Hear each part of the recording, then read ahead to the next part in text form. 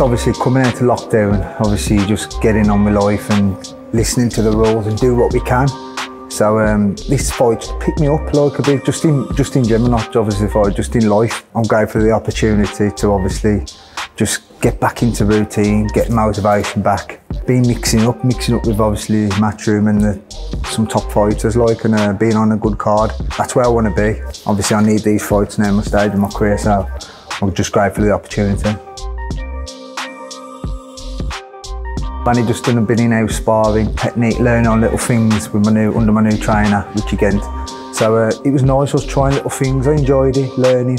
He's a fit young kid, he's been in camp, you know I mean? So them six rounds was good, especially in that heat. It's like doing a good 10 rounds, so I've worked with him before and he's a good athlete, so testing myself with a younger, fresher kid, that's what I need. Obviously the gym's ain't been open, so obviously I've been running and just doing little things like walks with the family. Cause We've had a newborn. We've got a little Paddy Welborn. He's and he, he was five weeks with the lockdown, so we have to be really careful. You know what I mean? So obviously with my work, my business, the Welborn Grab Hire, stress on that off because obviously the drivers, the lads, I've had to try and keep them in work. So I've had a lot of it's flu really because obviously I've had to. I'm always as soon as I open my eyes, I'm doing something like. I had a good swing at middleweight picking up the British and that defender. And obviously I felt good in there in my training. I seem to enjoy my training a bit more not worrying about the weight so much.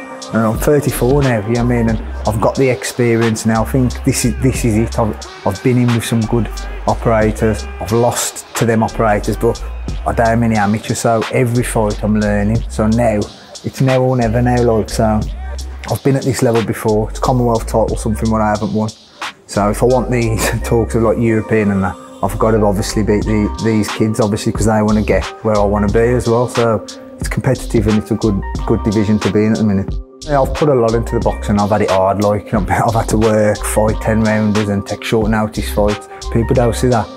People think, oh, he's lost to good fighters. If you have a fair fight and a fair camp like I did with Marcus Morrison, it was my first camp and I felt a million dollars and obviously shows what I can do. So I've done it and I know I can do it again going from British jumping to world level and dropping down a weight again. And obviously Jarrett Hurd, he's massive at that weight. He was he was a, he's a monster at that weight. Walking into the fight after weighing, making 10 13, he was 12 10. But um, I felt strong. For why it was in there, the first fight, I felt strong. I was pushing him back, and I think, bloody hell, he's a world title fight. I was going back enjoying it. But then a couple of taps down low and bits and bobs, and he squared me up at that level, and it was one shot. And uh, he won, but it's experience. I mean, I've, I've gone and done it, and um, dropped back down to light middle again, Metcalf. And obviously, from that fight, I was disgusted with how, how the turnout happened, and I, I was going to walk away from the sport. I thought, you know what, I don't need this boxing. I mean, at the end of the day, I've worked hard to get where I'll go. And these up and coming fighters, if I'm getting looked after that much, and the reps and everything, I just thought, but I don't want to go out like that. And that's what I've said. And it was my wife who made me get back into it. And she said, that's my belt, go and get it. I watched much of him. His Cullen, his last one, I watched that when I heard of his name. When I won the British, there was on an interview and I thought, Phoenix Tattoo's that. But um, these are the fight, these are the fight as well. I'm hungry and these are what I'm up against. But um, he seems a nice lad.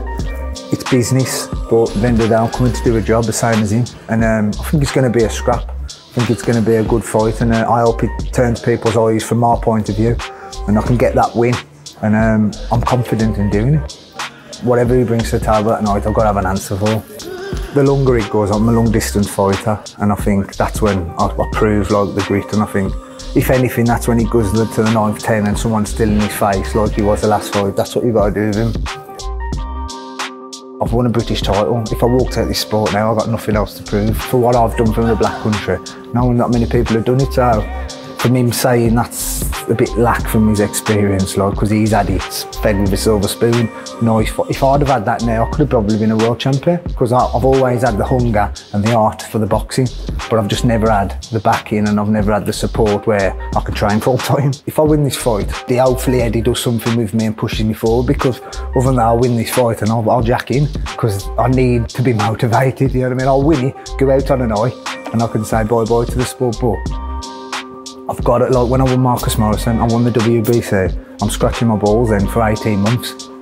I don't want to be in that position again because I've got other things going on, so I'll put 110%. If I can win this fight, I need to sit down with someone, I need to be, I need a plan.